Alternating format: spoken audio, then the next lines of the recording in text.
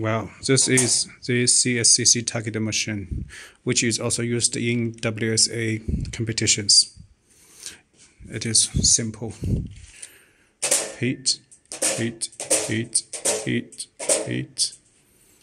Then you can reset by remote.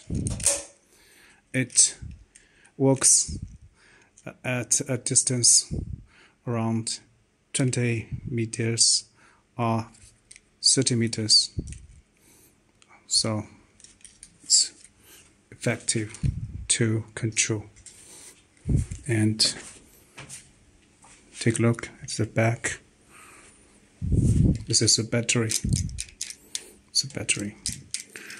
And it's a structure to hold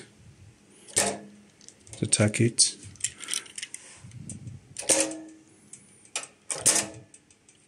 And there is a rod. This is a rod.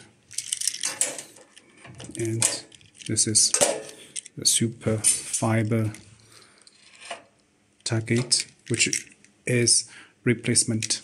You can change it with a bigger one. This is four centimeters. You can use five, six, seven, and eight centimeters target. Take a look.